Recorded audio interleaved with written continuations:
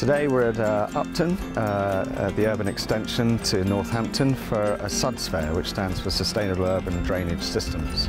It's a way of um, uh, engaging the local community and specifically school kids with how the uh, drainage system uh, in their uh, new development actually works.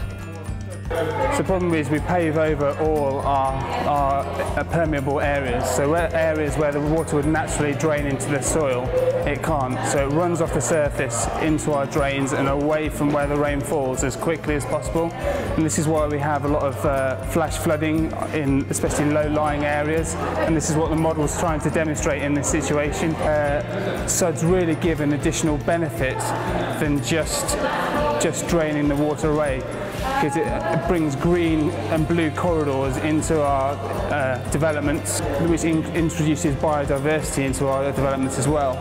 And Upton is really testament to that. I mean, you see the children playing out in the swales and in the parks, etc. We don't normally get that on new estates. They tend all to be boxed in and it's just roads, paths, houses. It's good socially. You come down in the evenings, there's lots of people walking their dogs, there's children playing football.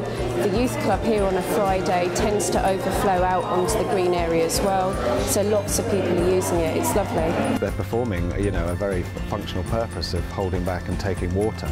But at the same time, there's the added benefits of them being beautiful. You know, people nice to look out onto, like a square is a lovely thing to look out onto, so is a SUD system. But also the wildlife loves it because all these systems are connected together and wildlife likes to move around in a connected way. It's lovely. It's, it's almost like living in the countryside because we, we benefit from having all the lovely insects.